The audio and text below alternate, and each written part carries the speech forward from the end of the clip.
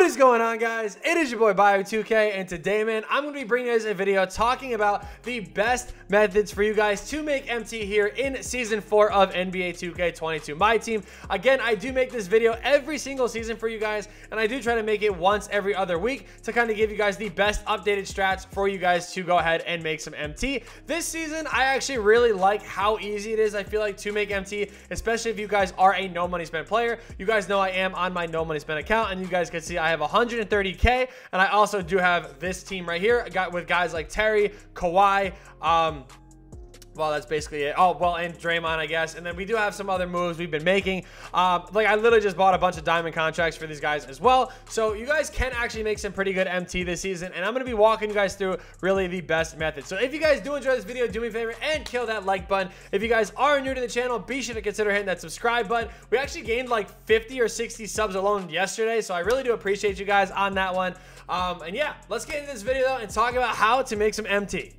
So getting into the best methods here of how to make MT. The first thing I'm going to be talking about is the exchange here. Now, I did actually just do it, which is kind of why I'm kind of fumbling the video right now. But in the reoccurring... Um, exchange section here there is going to be the diamond shoe boost thing and you can earn shoe boost very easily from opening up free promo packs that you guys can get you know via the skills challenges the pickup challenges you can do every single day to get the standard heat check pack um, and then even like spotlight challenges like you get a bunch of packs and just random stuff domination like all that sort of stuff and uh, with that you guys obviously get random shoe boosts that you guys can exchange for uh, some good things. Like for instance right i've been doing them and i actually got acceleration out of both of them. I don't really put them up for the buy nows and realistically you should but if if you do put them up for buy nows, I mean, these are still going to probably sell for like 7 or 8K. So you could still make good amounts of MT uh, by just doing these exchanges. Now, you're not guaranteed to get something good. I mean, you're very likely to get some pretty bad ones as well. Um, like pass IQ, uh, offensive consistency, you know, draw foul. Like some of these just really are bad. Uh, and they really don't even go for that much, like if anything. Um, so sometimes you get something bad, but you can still actually get some pretty good value out of these as well. And again, it's super easy to do, and I highly recommend that you guys throw your bronze and your silver shoe boost into these every single hour to get yourself a shoe boost. I mean, literally, it reoccurs every hour and really does work out, which is good. So outside of that, a new method of making MT in this season. Uh, the number one thing I'm going to be talking about is heat checks. Heat checks are really good for making MT, especially when they first come out, and that is why I'm making this video now instead of like a few, you know, weeks or a few days even into the season. I want to bring this video to you guys as quick as possible. Heat checks, again, when they first drop, do actually have really good amounts of value because people are opening up the packs and everything like that, and they're actually a little bit cheaper this year than they were last year, which is surprising. But even a guy like Tobias Harris, right? So just looking at this, this one's for 39.50. I mean, honestly, if you time it right, you could probably still sell that one for maybe around 6K. Um, so if you're being smart with when you're buying these cars and everything like that, you will be able to actually make some good MT on these. Whether you guys are just looking to flip them, maybe you're just looking to um, you know, lock them in and maybe, you know, get your tokens out of the deal or whatever the case is, these all do hold at least somewhat of decent value. So if you guys are able to snipe some of these, I know people were sitting on these filters and getting them for, you know, 2,000 MT and flipping them for 4,000. You could definitely do some stuff like that. There's hollows, as you just saw in these collections as well. And they're really good for flipping and making MT. I mean, and again, the, the snipe filters for these really aren't that competitive in my opinion. Like, I mean, I feel like if you were to just sit here and again do that 2000 and under snipe filter, you guys will be able to kind of snag a few, maybe a couple every hour, something like that, and make yourselves some pretty fast and easy MT by just going through these heat checks, looking what you can snipe or looking what to snipe for and everything like that. So definitely make sure you guys are paying attention to these heat checks.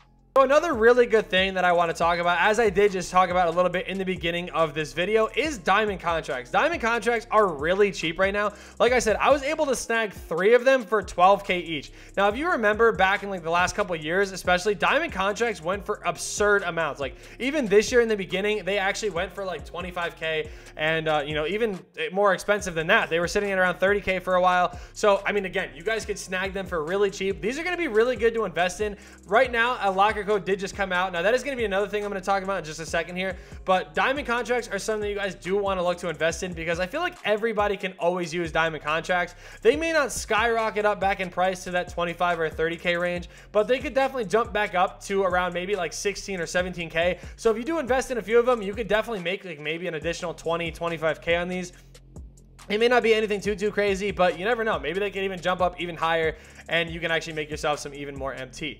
Now, another thing I want to talk about is you guys can see on this community hub here that there is a locker code that um, obviously is for the MLK Day stuff, which is really good. I highly recommend punching this in. This actually had that diamond contract in the locker code, a diamond consumable, which can actually also give you a diamond contract. And then you can also, you know, get a bunch of tokens and stuff out of this as well.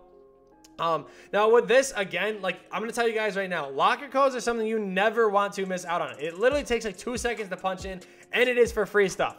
So there's a link to a, a, website in every single one of my videos. It's not like a sponsored thing. It's legitimately a good website that shows you every active locker code that you guys definitely need to make sure you guys are using and punching in every locker code. Like don't miss out on any of them. It is really important that you guys do that.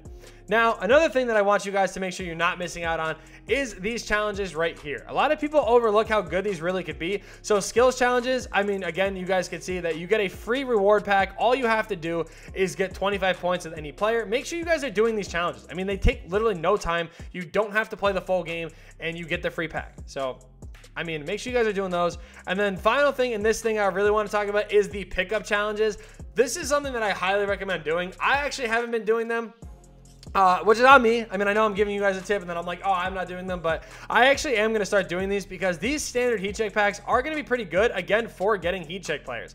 So if you guys are pulling these random heat check players out of different things, it can actually make you some good amounts of MT. Like the players I just have chilling in my collection, going back to what I was talking about before, I can actually probably sell these back and actually make a decent amount, or a decent amount on just selling these back. I mean, some of them, you know, are going to be pretty cheap. Some of them might actually hold a little bit of value. It's all random. Of course, I'm probably going to have the cheaper ones. I mean, that basically sums up my luck here. Uh, but a guy like Cat, I mean, same thing. I love it. I love how like uh, you know, there's some of them that go for like 6k, and all the ones I have go for like literally nothing. But the whole point is those free challenges are definitely worth doing because again, you never know what you could land out of these free challenges. So make sure you guys do that. I mean, you could literally end up pulling a guy like Steph. Maybe you pull a guy like Giannis. Maybe you pull a guy like KD. It's definitely worth taking the time and doing that challenge every single day to make sure that you guys are getting, you know, the most out of the MT you guys can in this season.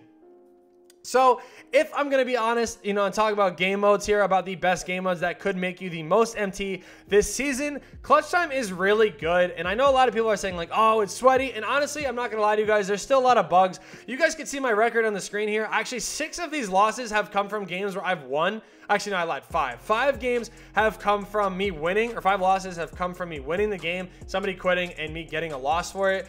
But like, I'm telling you guys right now, clutch time, if you can win, you're going to be able to make a lot of MT by just going through this mode. I mean, the wheel spins got upgraded a little bit. I mean, to where you get, you know, 400 MT, I feel like a lot. So if you're getting 400 MT per game on top of the MT you get in game, I mean, you're actually going to be making like probably six, 700 MT per game, which actually does add up in time. So, I mean, as always, I do recommend, you know, again, going back to that diamond contract thing, where if you guys, you know, do run lineups like this where you uh, actually, you know, are running good cards, but they all have diamond contracts on them. It'll actually help you save, you know, contracts in the long run. So you can run a budget. Well, well I, I don't know. I consider this a budget team at this point. But anyway, you can run a team like this and it actually, you know, will help save some MT and you will actually be making a lot. Uh, Triple Threat Online is a really good one as well. I feel like people kind of underrate this mode a little bit because, you know, I know the rewards aren't great, but you still get good enough stuff to where I feel like you are making consistent MT and consistent tokens. If you are able to get that signature pack too, you do have a chance at pulling Kobe or Magic. So, you know, I know it's very unlikely, but the MT you actually get in this mode is pretty good. Draft mode, I mean, I haven't really touched draft mode, I, will be honest with you, in a very long time. Uh, I think it's actually been like two months since I've even played a single draft game it still does give you good rewards if you do win all 10 games and everything like that. But the only reason why I don't do it is because that actual, like, you know, pack or the actual player you get at the end really hasn't been anything that great. So guys like Tony Parker, Andre Drummond, George Gervin, like, really haven't any, been anything to grind for. Uh, limited is really good too. Uh, I always do like giving this tip for you guys. Limited every weekend normally has additional prize packs and like uh, diamond contracts, diamond shoes. Um, Normally you have like uh, Hall of Fame badges and stuff like that as well in here. So make sure you guys are taking advantage of that as well. And then the final game mode, I mean, Unlimited, y'all know how I feel about Unlimited. I mean, you can make some good MT out of it, but it's not really worth the headache. Pickup challenges and stuff, as I talked about, make sure you guys do those. Domination, I don't really play. Triple Threat Offline, I mean, if you are caught up with it, it is definitely a good mode to grind because, again, you're going to get good amounts of MT as you're going through the games. You have the MT in the vault and that standard heat check pack, which is good. Diamond contracts, diamond shoes, New Year's resolution deluxe pack, um, you know, the Mystic deluxe pack. Like, there actually is good packs in here that I feel like you can grind for, so you guys let me know though how you guys feel. If you guys have any other MT methods, be sure to comment them down below. If you guys did enjoy this video, do me a favor and kill that like button. If you guys are new to the channel, hit that subscribe button. And yeah, peace.